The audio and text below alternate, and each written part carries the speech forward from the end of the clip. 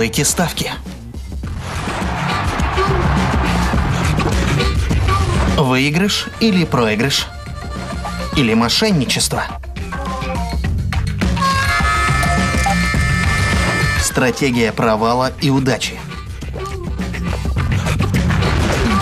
Самые великие игорные аферы.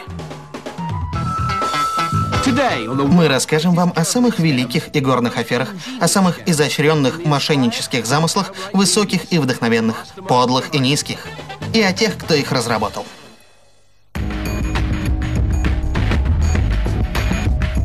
Вы увидите контактные линзы, которые делают жульничество простым, как детская игра.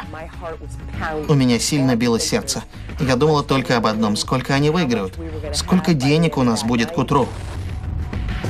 Вы познакомитесь с блистательным фальшивомонетчиком. Можно сделать все, что делают другие. Нельзя сделать только того, кого надо родить. Вы увидите австралийского афериста, который использовал радиостанцию, чтобы задержать результаты бегов. Ты выиграешь деньги наверняка, если знаешь результат забега до его начала.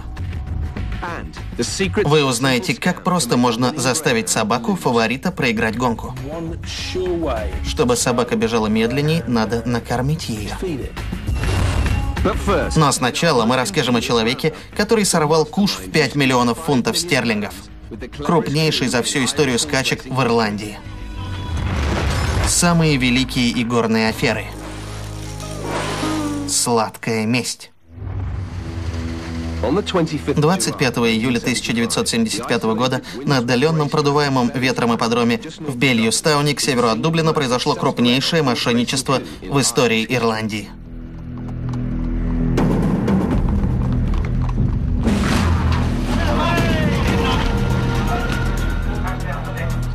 Барни Керли, тренер скаковых лошадей и автор аферы.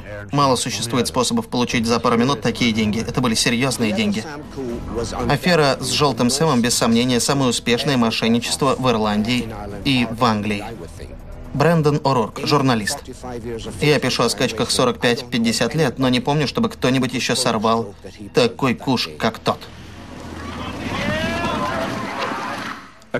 Автор аферы придумал, как изменить соотношение ставок в свою пользу. Мошенничество с «желтым Сэмом» обошлось букмекерам в сумму, эквивалентную сегодняшним 5 миллионам фунтов. Автор аферы, Барни Керли, как ни странно, в самом начале своей жизни готовился стать католическим священником. Симус Мелвейни, букмекер. Барни должен был стать священником. Если бы стал, у нас был бы шанс увидеть ирландца на папском престоле. Но шансы Барни попасть в Рим рухнули. Он заболел туберкулезом. Во время долгого лечения у него было время вспоминать детство и особенно одно неприятное событие. На глазах мальчика его отец проиграл все семейные сбережения на собачьих бегах. Барни был еще мальчиком. Его отец с трудом платил за его учебу в интернате. Однажды он поставил деньги на собаку 7 к 1, но собака на бегу упала, сломала себе шею. Эта картина всю жизнь стояла у Барни перед глазами. Он вспоминал, как его отец уносил борзую с дорожки. Барни пришлось бросить интернат. Они с отцом поехали в Англию, работали на фабрике пластмасс в Манчестере, чтобы выплатить долг 300 фунтов. Это оставило в душе Барни неизгладимый след. Он поклялся отомстить букмекерам. Барни стал работать на ипподроме и вскоре нашел простой способ сделать большие деньги за счет букмекеров. Это произошло в Бельюстауне. Я вдруг увидел отличную возможность. На ипподроме был только один телефон. Я подумал, если вывести его из строя, этот ипподром – идеальное место для аферы. В 1975 году мобильных телефонов еще не было. Барни понял, что если блокировать единственную телефонную линию, можно отсечь ипподром от остального мира. А главное, от всех ирландских букмекеров, которые должны были все время звонить в Бельюстаун, чтобы убеждаться, что соотношение ставок верное. Никто не мог предвидеть, что крупная афера произойдет в таком месте, как Бельюстаун. Это небольшой, не слишком знаменитый в Ирландии ипподром. По-моему, Барни выбрал идеальное место. Верно выбрать место – это только начало. Барни нужна была лошадь, которая казалась бы слабой. Желтый Сэм был сильной лошадью. Он отлично подходил для скачек того дня. Барни подговорил тренера Лиама Бреннана создать желтому Сэму плохую репутацию. Если выпустить лошадь на дорожку в плохом состоянии, она будет бежать плохо. Все решат, что она слабая, и соотношение ставок будет искусственно взвинчено. Тренер сыграл свою роль так хорошо, что даже Майкл Ферлонг, жокей, который должен был скакать на желтом Сэме, поверил в слабость лошади. Я видел результаты забегов желтого Сэма за три недели до этого дня. Майкл Ферлонг, жокей. И подумал, зачем тренер хочет, чтобы я на нем скакал. Я был уверен, что желтый Сэм не способен выиграть. Соотношение ставок на желтого Сэма было крайне высоким. Теперь Барни нужен был способ делать ставки на эту лошадь так, чтобы не вызвать подозрений или понижение ставок до начала скачек. Я объехал множество ирландских городов, узнал, где там букмекерские конторы, и нанес их на мою карту. Там, где были наилучшие возможности, мы наняли местных менеджеров, абсолютно надежных людей. Они должны были говорить нашим, так сказать, солдатам, что надо делать в определенное время. Важное условие. Никто из помощников Барни не знал имени лошади до той минуты, когда надо было делать ставки. Если бы на ипподроме узнали, что всюду ставят на желтого Сэма, соотношение ставок резко бы уменьшилось. Такая сложная афера требовала тщательного планирования. Я готовил ее как ограбление банка. Продумал мельчайшие детали.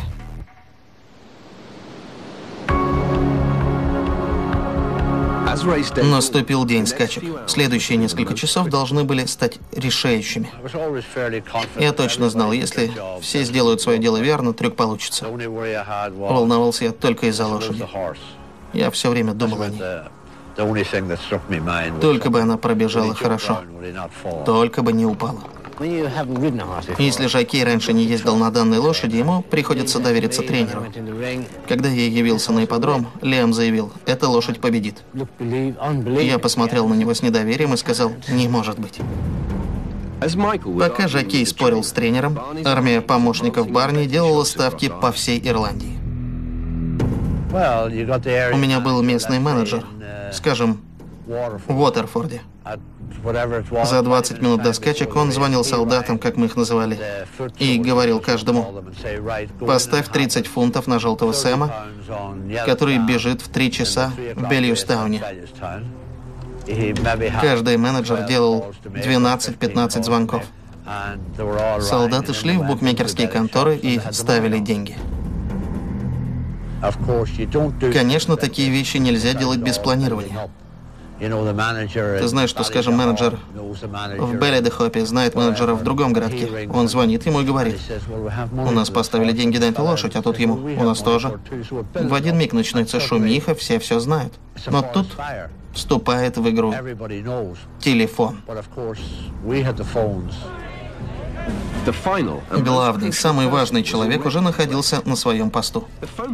Телефон, который вдохновил Барни на его аферу, был теперь занят его лучшим другом. Мой друг звонил по телефону в больницу, у него якобы заболела тетя.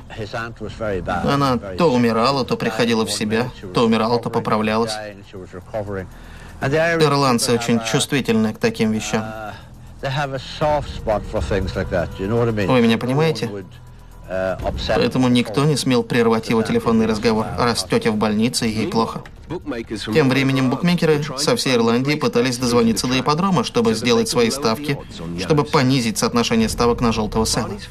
Но друг Барни продолжал занимать телефон, не давая им поменять соотношение. Началась паника.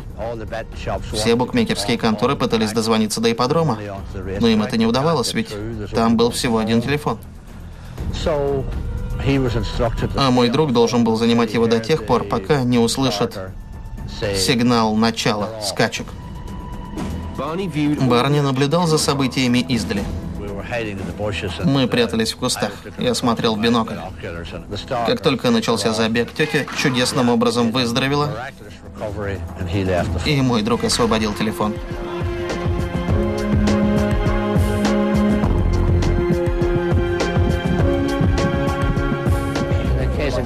Я вскоре понял, что желтый Сэм – потрясающая лошадь.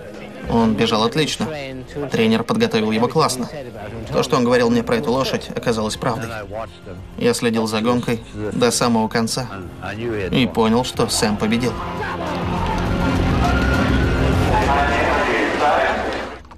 Только на самом финише Жаки Майкл заметил некоторые странности. Вокруг крутилось слишком много людей. Суеты было больше, чем на обычных скачках. Тренер Лиам сказал мне, не задерживайся на ипподроме. Садись в машину и поезжай домой. И как можно быстрее. Барни Керли, тренер скаковых лошадей и автор аферы. Я пошел посмотреть на соотношение ставок. К моему удивлению, оно было 20 к 1. То есть на каждый поставленный фунт человек выиграл 20. Серьезные деньги. Армия помощников Барни сделала по всей Ирландии более 150 ставок. При соотношении 20 к 1 общая сумма выигрыша составила 250 тысяч фунтов, что соответствует теперешним 5 миллионам фунтов. Я был в тот день на ипподроме, поставил 100 фунтов. При 20 к 1 мы потеряли 2000. Мой самый крупный проигрыш на скачках. Большие деньги. Из-за этого я чуть было не потерял свой букмекерский бизнес. На другой день об афере Барни писали все газеты. На первых полосах. Я не думал о скачках, пока на следующий день не открыл спортивную газету и не прочел ее первую полосу. Шум в прессе был большой. Очень большой. Газеты писали, что букмекеры задним числом поняли суть случившегося, но поскольку незаконных действий не было, им пришлось смириться с тем, что Барни выиграл на скачках. Букмекеры ужасно не любят проигрывать. Но в тот раз Проиграть им пришлось. Барни нанес им самый мощный удар за всю историю скачек. Букмекерам не хотелось выплачивать ему выигрыш, но пришлось, потому что закон он не нарушил. Люди не любят, когда их припирают к стене, понимаете? Но если уж их приперли, если они опозорились, делать нечего. Сладкая месть Барни букмекерам порадовала бы его отца. Изящный трюк Барни принес ему сумму, равную теперешним 5 миллионам и он получил их целиком, до последнего пени.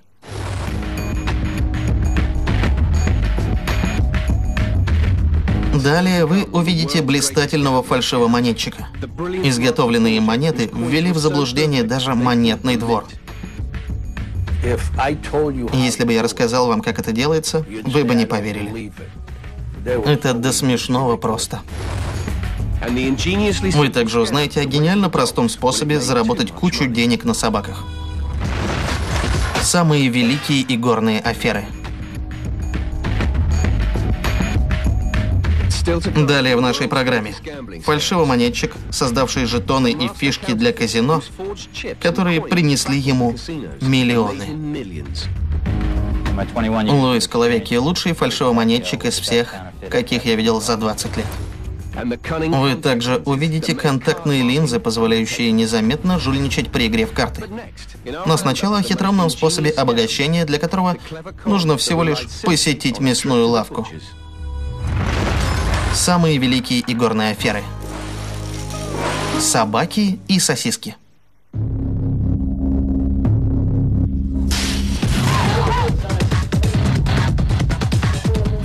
Быстрые собаки и быстрая еда. Странное сочетание. Впрочем, в середине 80-х группе тренеров беговых псов оно не показалось странным. Оно подсказало им изящный способ вывести из строя собаку фаворита. Бывает, что в забеге участвует прекрасная собака, замечательная, которой просто обеспечена победа. Дэйв Пул в прошлом следователь по делам о мошенничестве. Поэтому все ставки делаются на эту собаку, а значит, соотношение ставок будет крайне низким. На каждый поставленный фунт выиграть удастся фунт. Деньги маленькие. Чтобы выигрыш был крупным, соотношение должно быть 4 или 5 к 1. Поставите фунт, получите 5. В 1987 году алчные тренеры беговых собак решили сорвать крупный куш и обобрать букмекеров. Я думаю, букмекеры знают, что они мишень. Грэм Шарп, автор книги «Аферы». Мишень для тех, кто хочет их обыграть. Идея мошенников была проста. Ослабить фаворита, а самим поставить на вторую по силе собаку. Но как это сделать? Собаку нельзя заставить бежать быстрее. Гончий пес всегда бежит на пределе возможностей. Крис Лоренс, ветеринар. Борзая пробегает 400-500 метров меньше, чем за минуту. Суперскорость. Заставить ее бежать еще быстрее трудно. Для этого пришлось бы использовать допинг. Но собаки проходят допинг-контроль. Нарушители поймают. А вот заставить борзую бежать медленнее проще. Один из способов снизить скорость собаки Кормить ее. Обильно кормить. И желательно перед самым забегом. Тогда собака будет бежать не в полную силу. Ведь она только что поела. Секретным оружием мошенников были простые сосиски. На сосиски собаки набрасываются так, будто завтра конец света. Вряд ли вы видели толстую беговую собаку, жирную борзую. Это худые и мощные беговые машины. Но они способны проглотить все, что им дадут. Накормив борзую тяжелой пищей, можно не только замедлить ее бег, но и не бояться быть пойманным при допинг-контроле. Впрочем, мошенникам надо было пронести сосиски мимо охранников. Дать собакам еду перед забегом крайне трудно. Собаку уводят от тренеров и владельцев и помещают в загоны. Только охранники в курсе, в каком загоне какая собака. То есть, где определенная собака, знает только один человек. Но этого человека алчные мошенники завлекли в свою банду. Охраннику, разводившему собак по загонам, заплатили за то, чтобы он сказал, в каком из них нужная борзая. Имея доступ к загонам в ночь перед забегом, мошенники смогли накормить сосисками фаворита гона. Через 30 минут после неожиданной кормежки сильнейшая собака проиграла гонку, а вторая по силе борзая принесла кучу денег мошенникам.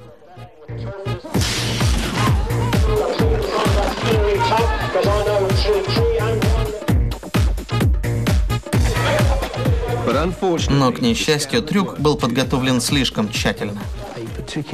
Собака, которой прочили победу в гонке, не победила, а вторая по силе выиграла состязание. Это вызвало подозрение у строителей гонки. Когда кто-то ставит большую сумму на собаку со слабыми шансами на победу, это несколько странно. Если кто-то еще ставит на нее, это еще более странно. Две ставки — это подозрительно. При осмотре загона собаки-фаворита обнаружились следы обильной трапезы. Остатки пищи нашли в загоне борзой, который прочили победу. Обычные сосиски, думаю, 3-4 штуки значительно замедлили ее бег.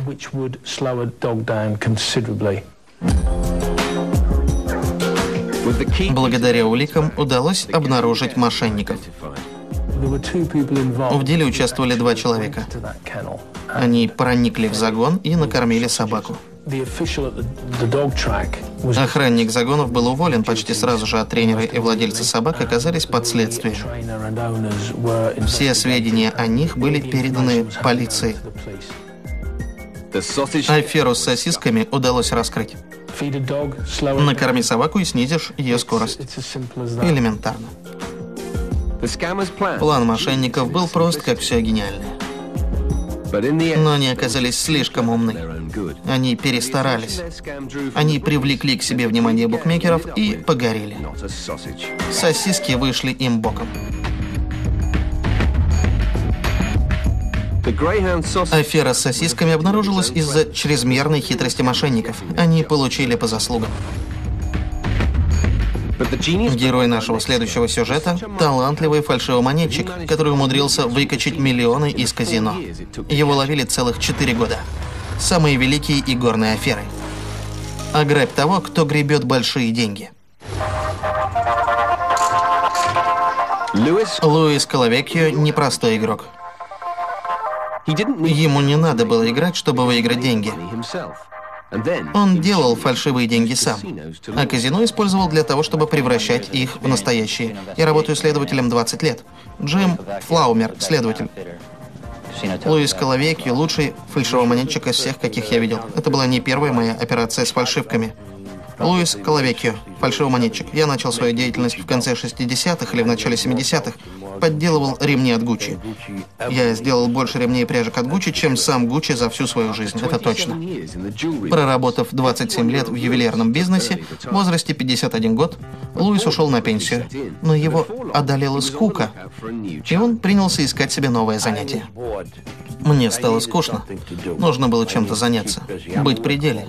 Я трудоголик. Мне нужны телефонные звонки и рабочее напряжение. Неожиданная поездка в Атлантик-Сити вдохновила Луиса на крупнейшую аферу с фальшивками с целью обмана американских казино. Один мой друг предложил мне поехать с ним играть в казино, и я поехал. Мы играли в блэкджек. Я сидел рядом с другом. Мы играли черными фишками. Потом мы закончили игру, взяли пару фишек, вышли из-за стола и уехали. По дороге домой я все смотрел на фишку, крутил ее в руках и размышлял. Друг спросил, о чем ты думаешь? Я ответил, ты знаешь, мы сможем сделать такие же фишки. С этого все началось. Фишка словно манила меня. Так родился мой проект. Можно сделать все, что делают другие. Нельзя сделать только того, кого надо родить. Идея была такая. Луис использует свои фальшивые фишки для игры.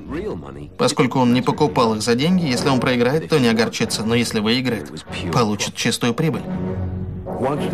Я изготовил фишки. Теперь надо было пронести их в казино и превратить в деньги. Я делал это по выходным, примерно два раза в месяц.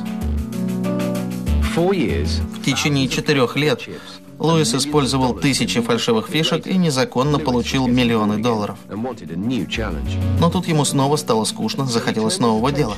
Он обратил внимание на монеты, которые используются в казино как жетоны для игральных автоматов.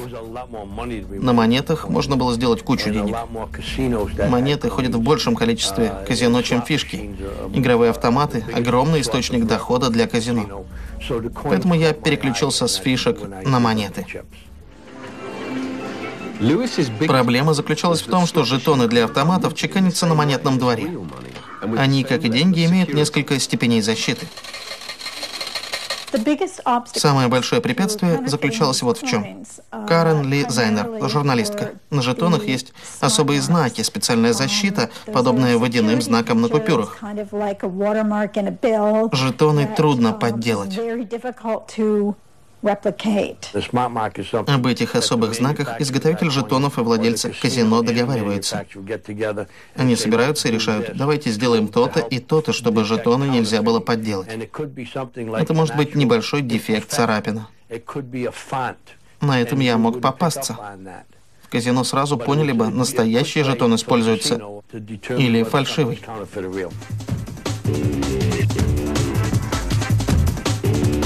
Луис должен был решить не только проблему особых знаков. Когда делаешь жетон, когда он выходит из-под пресса, он новенький. Он не будет похож на другие жетоны из казино, если только их туда не принесли только что с монетного двора. Поэтому я должен был состарить свои изделия. В ювелирном бизнесе это так и называется «состарить вещь». Я перемешивал жетоны в тазу, перетирая их друг от друга, они становились потертыми, поцарапанными, так же, как если бы долго крутились в автоматах казино. Поскольку каждое казино использует свои собственные помеченные жетоны, Луису пришлось изготовить более 50 разных видов этих изделий, иначе трюк не имел бы успеха. Луис вложил в дело миллион из собственных средств и через год был готов дурить казино.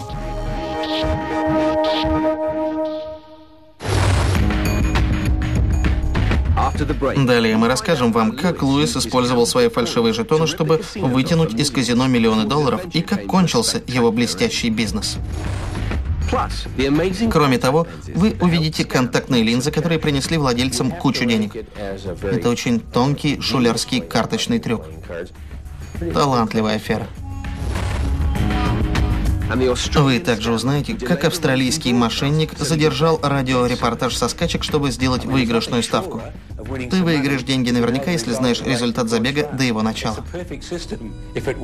Конечно, выиграешь. Самые великие игорные аферы. Далее вы увидите удивительные контактные линзы, которые позволили их владельцу видеть невидимое. У меня сильно билось сердце. Я думала только об одном, сколько они выиграют, сколько денег у нас будет к утру.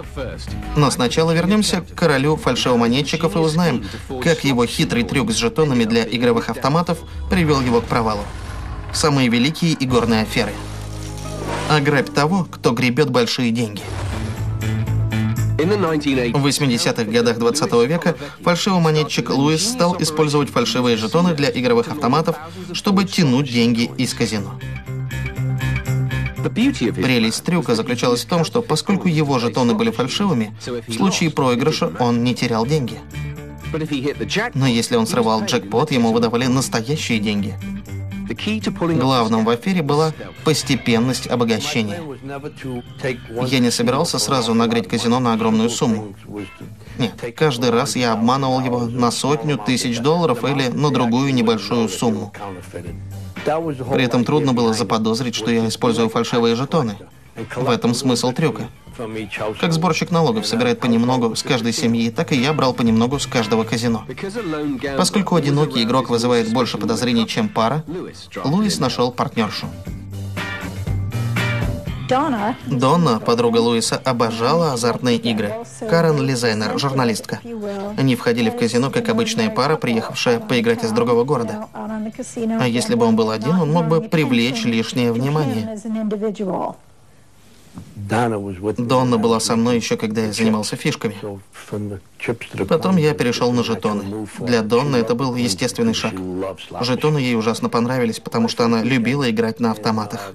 В наши первые выходные в Атлантик-Сити я получил примерно 25-30 тысяч долларов. За три месяца Луис и его подруга обобрали игровые автоматы в 30 с лишним казино в разных штатах. Я даже огорчался, когда выигрывал. Я говорил себе, о боже, как много моих жетонов у меня еще остается. Однажды я выиграл 5550 долларов. Бросил еще одну монетку и выиграл еще 3000. Я вышел из казино с суммой 8 или 9 тысяч, а мои жетоны почти все были при мне. Мне казалось, что я проиграл, потому что я не использовал все жетоны, как собирался. Но однажды во время стандартной проверки в одном из казино, регулярно посещаемых Луисом, обнаружилось несоответствие в количестве жетонов. Вызвали полицию. Мы выборочно исследовали 10-долларовые жетоны. Джим Флаумер, следователь. Некоторые из них были, как мне показалось, поддельными. Я решил проверить свои подозрения вызвал экспертов. Даже эксперты монетного двора сначала приняли жетоны Луиса за настоящие. Однако Пфлаумер настоял на продолжении экспертизы. При более тщательном исследовании был выявлен дефект в оттиске жетонов. Так нашлась необходимая детективу улика. Луис пока не знал, что началось следствие. Когда он в очередной раз вошел в казино, автоматы были под наблюдением. Луиса поймали из-за его поведения во время игры. Камеры слежения засняли, как мужчина бросал в автоматы 10-долларовые жетоны. Точнее, их было двое, мужчина и женщина. Вдруг одна из их монет застряла в автомате. Вместо того, чтобы обратиться к менеджеру, сообщить о неприятности, потребовать, чтобы монету вынули, они быстро встали и ушли. Для нас это стало сигналом. Мы тут же осмотрели автомат и нашли в нем свыше 200 фальшивых жетонов. Имелась запись камеры слежения, но Луис не был пойман с фальшивым жетоном в руках. Взять с поличным его не удалось. Пришлось выжидать. Только через три месяца Луис вернулся в казино. Его задержали, его машину обыскали.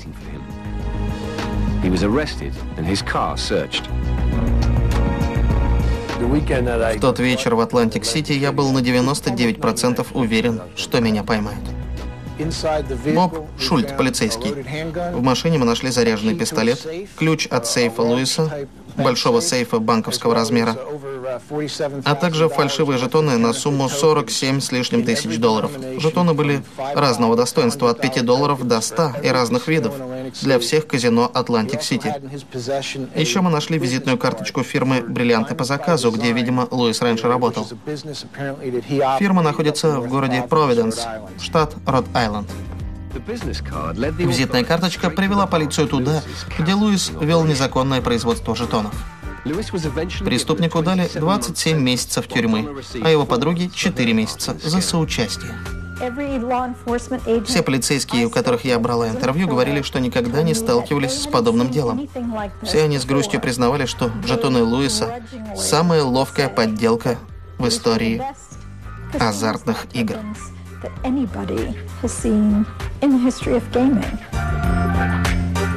Отдавая Луису дань восхищения, после суда полицейские вернули ему несколько его жетонов, и он на них сыграл. Неизвестно, сколько принесли Луису фальшивые фишки, но одни только ловко изготовленные жетоны дали ему прибыль примерно в полтора миллиона фунтов стерлингов.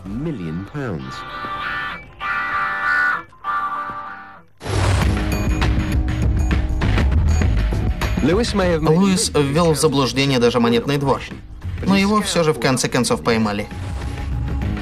А мошенники, о которых мы расскажем далее, не только выиграли миллионы, но и не были арестованы. Самые великие игорные аферы. Женщина, ради которой стоит мухлевать.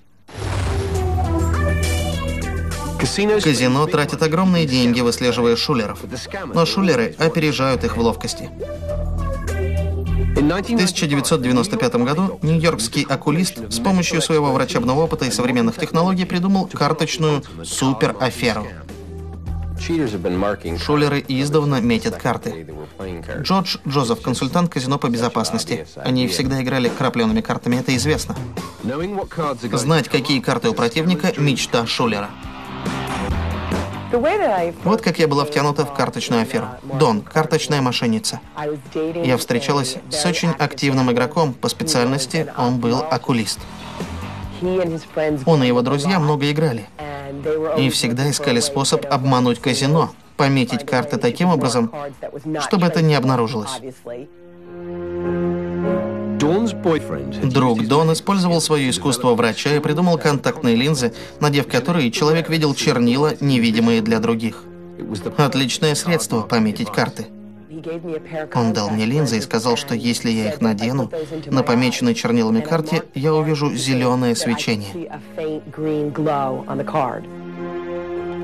Это свечение не видел больше никто. Я не знала, как все получится. Не верилась, что чернила не оставят видимых следов. Но потом я сама убедилась. Только в линзах можно видеть свечение там, где я нанесла чернила на карту. Трюк был тщательно разработан. Оставалось воплотить его в жизнь. Мошенники отправились в казино. Мы с моей близкой подругой сели за стол с блэкджеком и стали вместе помечать карты. Пометить карты – трудное дело. Ричард Маркус, автор автор книг «Грязный покер» и «Крупнейшее ограбление в казино». Надо принести с собой метящее вещество, нанести его на карты, не совершая движений, неестественных для игры в блэкджек. Но Дон и ее подруга имели прикрытие. Они держали губки, пропитанные невидимыми чернилами, в пудренице. Мы держали губки в кармане. Карты мы брали в левую руку.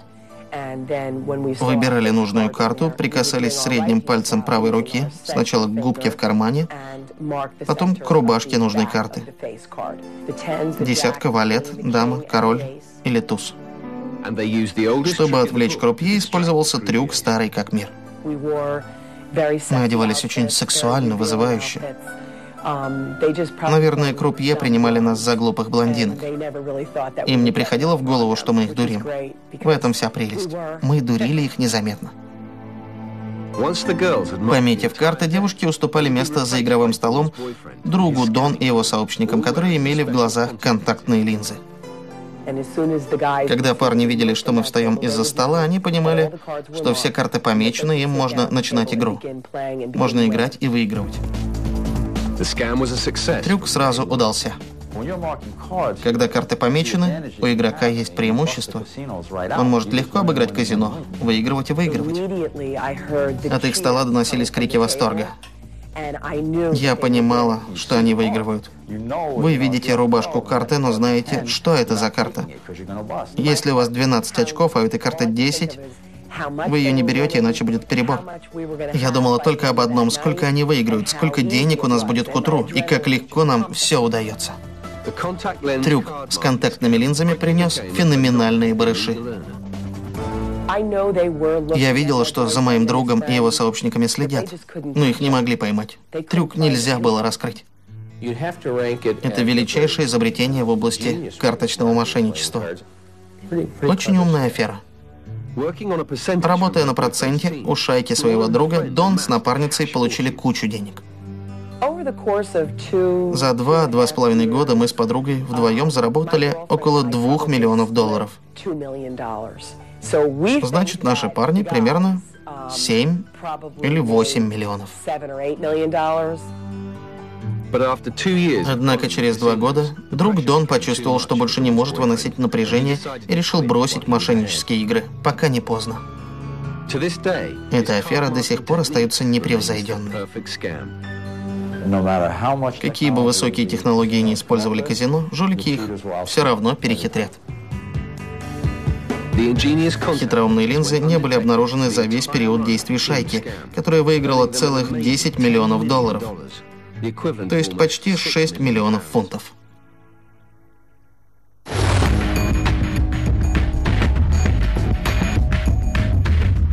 Далее вы узнаете, как австралийский мошенник оттянул объявление результатов скачек, чтобы сделать победную ставку. Самые великие игорные аферы –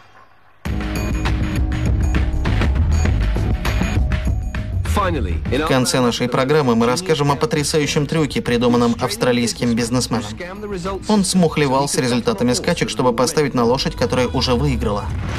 Самые великие игорные аферы. Игра с участием радио.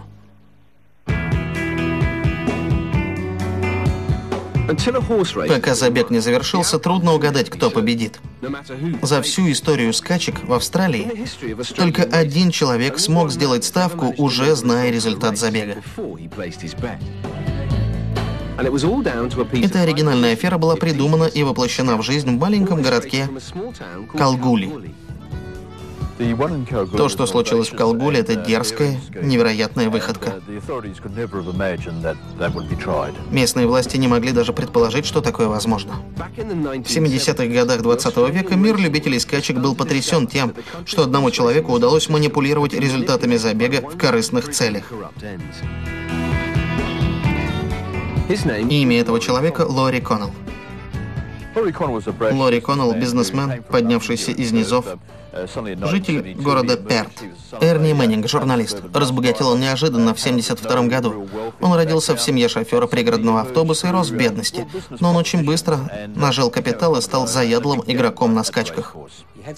Тревор Дженкинс, комментатор скачек. В его конюшне были отличные лошади, великолепные. Он был известен по всей Австралии. Он играл смело, имел большое состояние. Никто точно не знал, откуда к нему текут деньги. Букмекеры работали с ним в Перте. Он был самый мощный игрок, много лет. Он часто доставлял букмекерам много забот. В сентябре 75-го Лори Коннелл чуть было опять не поставил букмекеров в трудное положение, задумав прервать радиосообщение о результатах скачек. Лори решил узнать результат забега в одной части Австралии и поставить на победившую лошадь до того, как о результатах сообщат по радио в другую часть страны. Он решил сделать ставку на популярных скачках в Мельбурне, в юго-восточной части Австралии. Когда забег уже шел, Лори появился на ипподроме. Но за 7 тысяч километров в Кагуле, в Западной Австралии. Макс Блайт, следователь. Ежегодные соревнования в Кагуле очень популярны. На них съезжаются люди со всей Австралии, на них везут лошадей со всей страны. Это большой праздник. Он длится две недели. Его посещают все знаменитости. Но Лори поехал в Кагули не ради праздника. Для него торжества являлись всего лишь дымовой завесой. Ставку он намеревался сделать в Мельбурне. В Австралии можно ставить деньги в любом штате, даже в том, который от вас за 6 или 7 тысяч километров. Вы ставите так, словно присутствуете на забеге. Лори прибыл вечером накануне скачек. Сделал так, чтобы все знали, что он собирается поставить большую сумму. Он у многих спрашивал, пойдут ли они утром на ипподром. Говорил, что надеется получить наводку на лошадь лидера в Мельбурне. На самом деле, Лори рассчитывал вовсе не на наводку. Если бы его план удался, он узнал бы об исходе скачек в Мельбурне до того, как о нем узнали бы букмекеры города Кагули. С этой целью он решил использовать самый надежный способ передачи сведений о результатах забегов – радио. Данные со скачек, скажем, в Мельбурне одновременно передаются во все города Австралии в режиме реального времени. Хотя репортаж о скачках идет в прямом эфире, Лори знал, Австралия огромная страна. Данные надо передавать на большие расстояния через многие радиостанции. Он решил, что если он узнает результат, а потом задержит передачу данных, он сорвет куш. Лори Коннелл решил поставить на лошадь, которая уже пришла первой. Ты выиграешь деньги наверняка, если знаешь результат забега до его начала. Если трюк получится. Лори убедил сотрудника радиостанции в Перте отложить сообщение о результате скачек в Мельбурне на такое время, за которое его сообщники успели бы поставить деньги на победителя. На лошадь по имени Его Молитва. У Лори был друг в Мельбурне. Он передал ему информацию о выигравшей лошади. У Лори было пять минут, чтобы сделать крупную ставку у букмекеров. Лори Коннелл узнал, какая лошадь выиграла забег. Механизм заработал. Ему нужны были огромные суммы. Он ставил на эту лошадь по 8 тысяч долларов. Но букмекеры, к которым он обращался, были мелкие деятели. У них чуть не случился сердечный приступ при виде таких ставок на лошадь. Они были ошарашены. Поскольку Лори точно знал, что победила лошадь по имени Его Молитва, он решил сделать на нее огромную ставку, чтобы получить максимальный выигрыш. Но букмекеры в Кагуле не привыкли к таким суммам. Они отказались принимать у него ставки. Поэтому вместо огромных денег Лори был вынужден ставить небольшие и удовлетвориться скромной суммой выигрыша. Он выиграл всего 2300 долларов. Как он говорил, ерунду. Для него это была мелочь.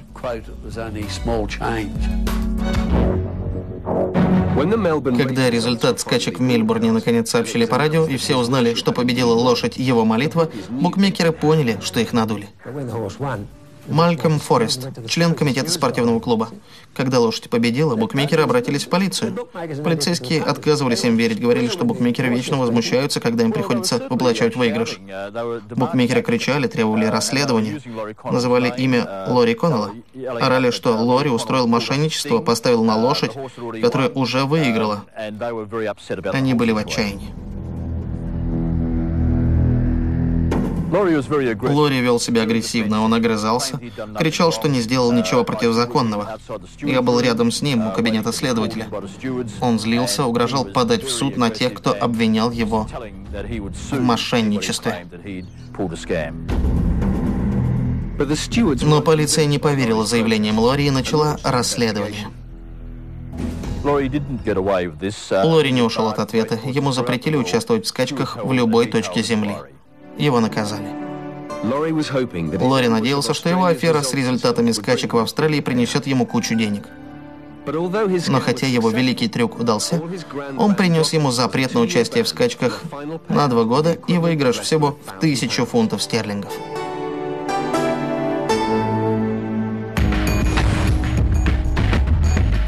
В следующем выпуске программы «Самые великие игорные аферы» вы увидите преступных производителей игровых автоматов, которые настраивали их так, чтобы прикарманивать прибыль.